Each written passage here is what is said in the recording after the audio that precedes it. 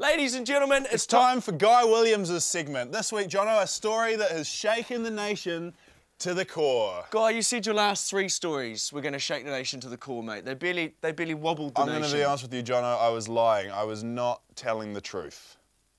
This week, however, I've solved the story of the Ken Eastwood fence in Rangiriri. Let's check it out. It is a name that'll be familiar to anyone who's driven between Auckland and Hamilton. A debt collection notice daubed in white paint on a green corrugated iron fence. But It was a story that needed answers. The Dominion Post, Waikato Times, and Campbell Live had all done stories on Rangiriri's famous sign. But no one had figured out who painted it, and no one knew who Ken Eastwood was Who is he? We don't know. until now. Campbell Live reporter Lachlan Forsyth has started his journey at the pub. I decided it would be a better idea to actually go to the house where the sign was painted on, and sure enough, a breakthrough.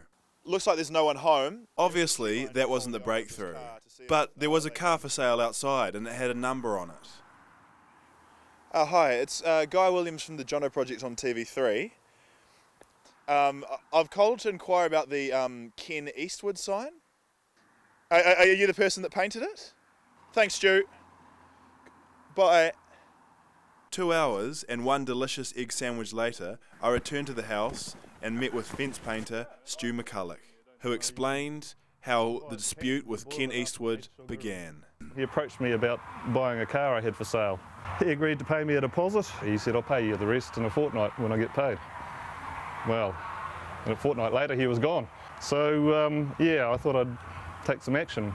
So action he took. He hung a sign to the fence, which mysteriously went missing. So, right, into the shed, I got the old spray cans out and I made sure that it was permanently on there. It's a bloody good sign. It's a sign of the times. Sign of the times.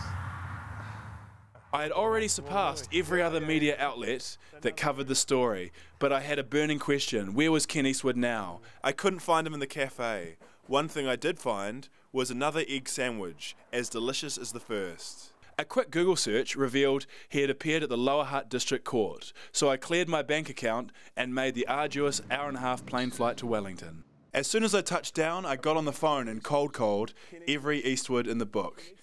And sure enough, I got my man. This is him. Hi, Ken. Hi, Ken. It's so, uh, Ken, so good to talk to you. It's Guy Williams here from the Jono Project on TV3. Yeah. Um, yeah, just calling about the, this, the sign on State Highway 1. Oh, don't worry about that, mate. I was just interested in it. Uh, No, sorry, if later, you just want to talk about. Hang up. I got the number though. I got his, got his address. So cool. Hi, I'm Guy Williams. We're here to meet Ken Eastwood to talk about the um, uh, sign on State Highway 1. Okay.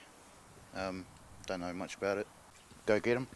Ken, um, the Jono pro- program's here. Finally, I found the man the world was searching for. Hello. Hi, it's Guy Williams here from the Jono Project on TV3. Oh, fuck. You know, I'm not interested, eh? You can fuck off. I don't want to talk. I, I can offer I can offer maybe some money. Oh, maybe I'll talk then. Ken Eastwood, it's great to finally track you down. Right, thanks very much there, Guy. Has it been like embarrassing to have your name on the fence? Yeah, it had its moments. There was friends of mine in Huntly at the time that uh, were going to deal to this guy. Uh, there was one sign on there previous, and uh, it got removed. So they stole his sign. Oh, they just they, they removed it. Yeah, What do you mean they removed it? they removed it off the fence. That's that's stealing. No, not really. So did you send them round some hitmen? No, no, no, no. They uh, they went on their own accord. Um, Voluntary hitmen. yep. Yeah. What sort of shit hitmen are that? Is that? Yeah, I reckon. Yeah. So Ken, where's the car now? Scrap metal, probably. Scrap metal. Yep. You don't actually know though. Uh, I, I don't know if it is or not. No. Uh, It's time to turn up the heat, Ken. Where's the car now? it's scrap metal.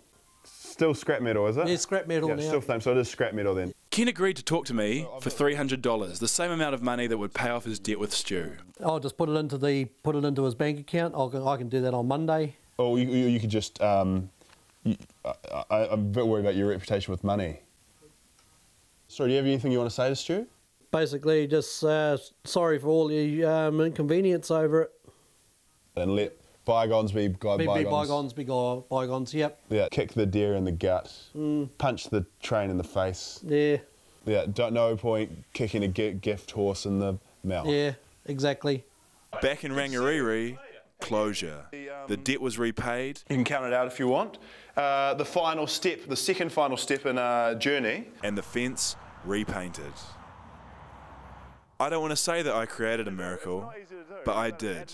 I definitely did. Guy, that is your that is your greatest story ever. Best ever story. Woo! Woo! And you got some marketing, I see, there too. First ever billboard. It's just a it's just a fence in Rangiriri, but I'm not going to bring the moment down, Not mate. going to bring You- down the you mood. well, Guy Williams, everybody. Guy Woo! Williams. Woo!